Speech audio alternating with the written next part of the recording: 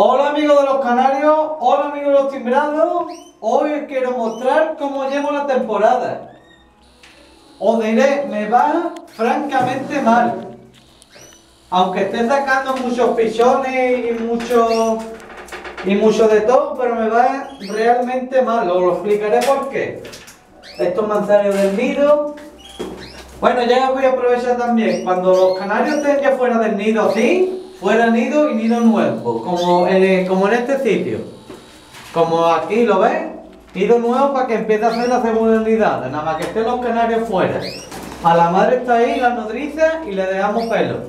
Pero diré, me va francamente mal. ¿Por qué?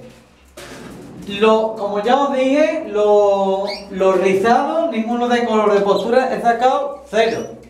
Los canarios que eran canarios son canarias y al contrario, por ejemplo, esta de aquí, esta padovana, tiene tres huevos infértiles, la utilizaré como nodriza por lo menos para aprovecharla.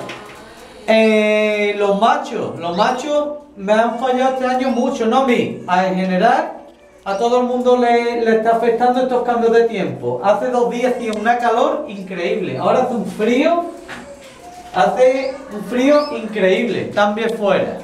Y en general me va regular. Os voy a enseñar por la anilla que voy, voy por la anilla 81, vaya, y ahora tengo que anillar, me tienen que nacer.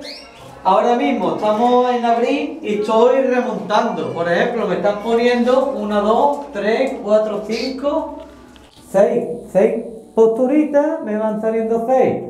Pero incluso las nodrizas se me han puesto malas. Una fallecido.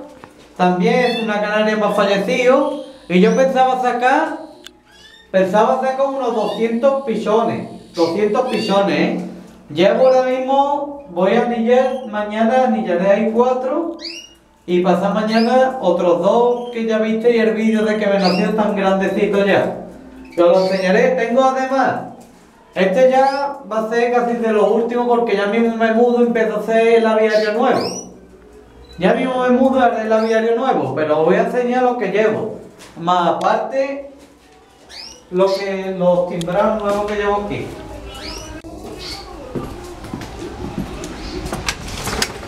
¿Lo veis? Mirad. Estos son los pichones nuevos. Los pichones nuevos de este año. Aquí llevo unos poquitos de timbrado.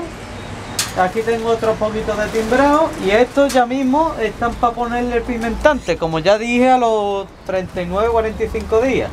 Como vemos ahí, ahí le falta uno la cola. Es decir, que esperar completo a que tenga la cola. ¿Lo veis? Este de que me acaba de volar no tiene cola.